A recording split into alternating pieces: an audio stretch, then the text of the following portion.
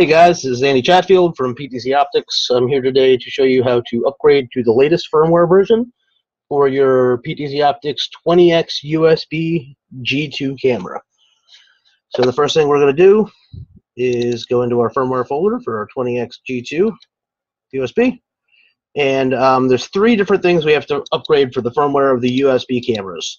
We're going to upgrade the SOC file for the IP, the FPGA and the USB for the USB connection. So I'm going to start with the USB. I'm going to run this program.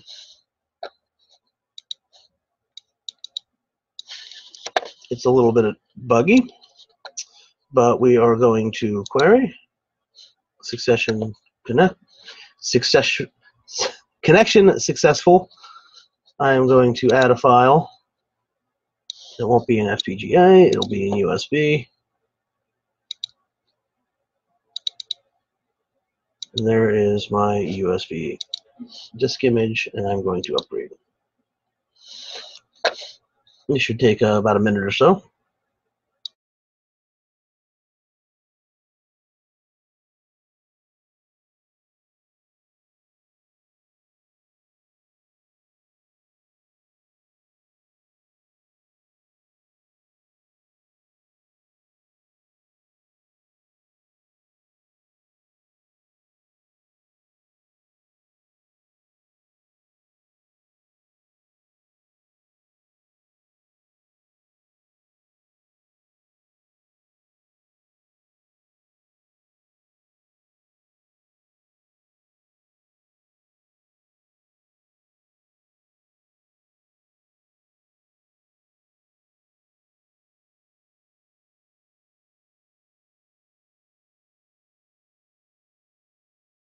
All right, so now our USB firmware is complete. We're going to use the same program to switch to the FPGA, add a file. We'll go to the FPGA and add that in. Now we're going to upgrade that. And again, this should take about a minute.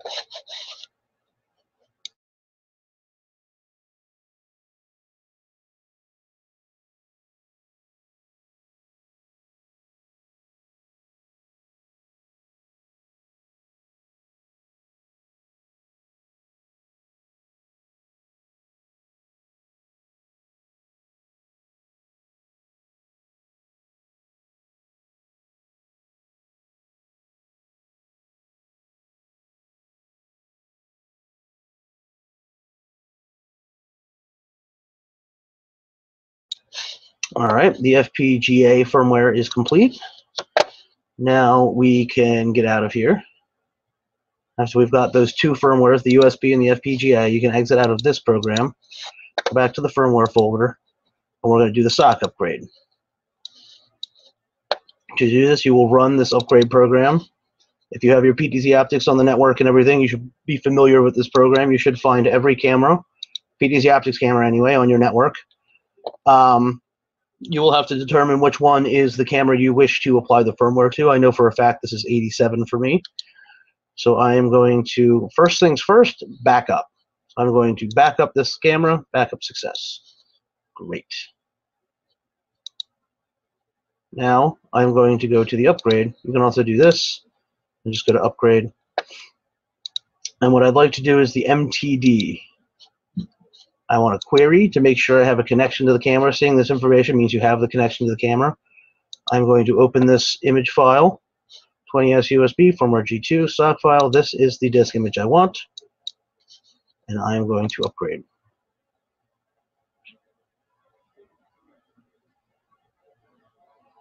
This process should take uh, about four or five minutes.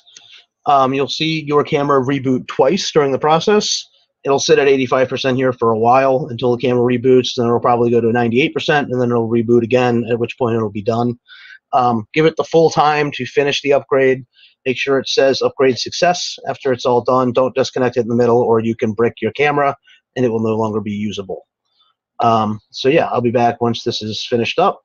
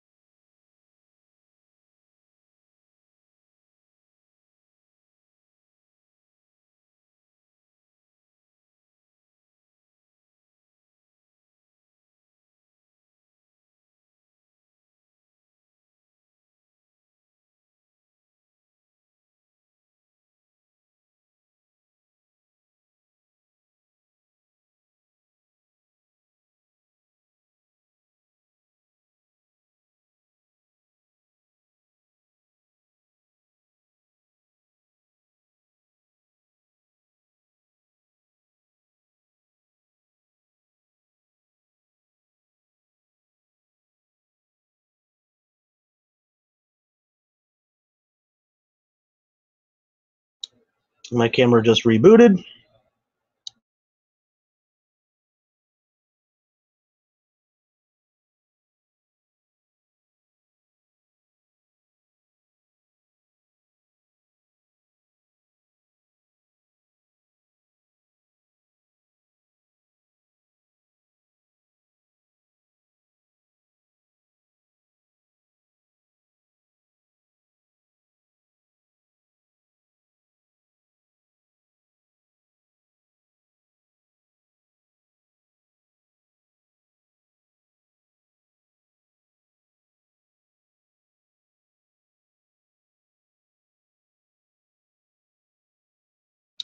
My camera just rebooted for the second time, so it should be just about finished up here.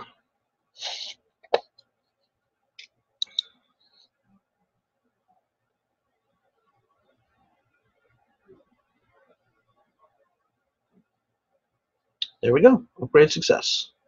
So one thing I want to mention, um, probably should have mentioned earlier, the firmware upgrade will completely wipe out all the settings in your camera.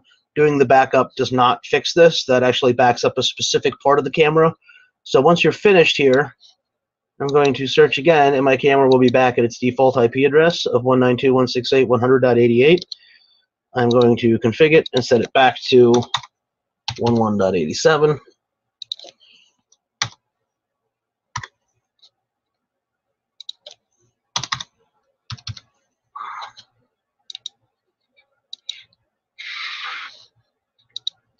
So we'll just wait for that to reboot.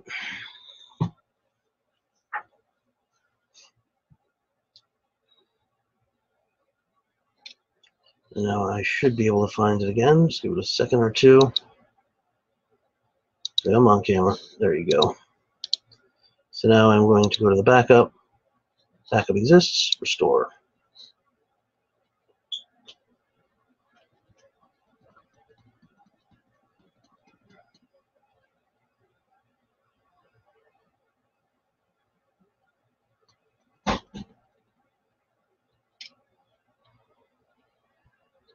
All right. So now my firmware upgrade for my camera should be all done. And I should be able to pull an RTSP feed pretty easily here. I'm just going to pull up VLC.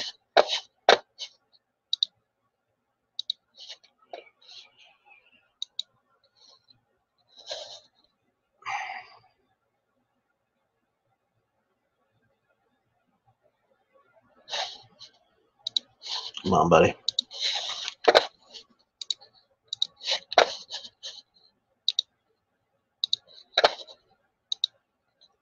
There it is.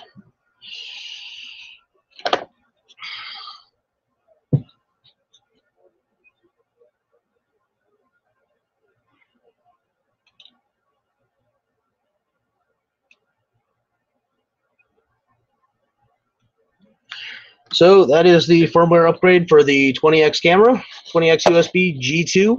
If you have any issues or uh, you run into any any problems at all, please get in touch with us here at ptzoptics.com, and I will see you guys later. Bye now.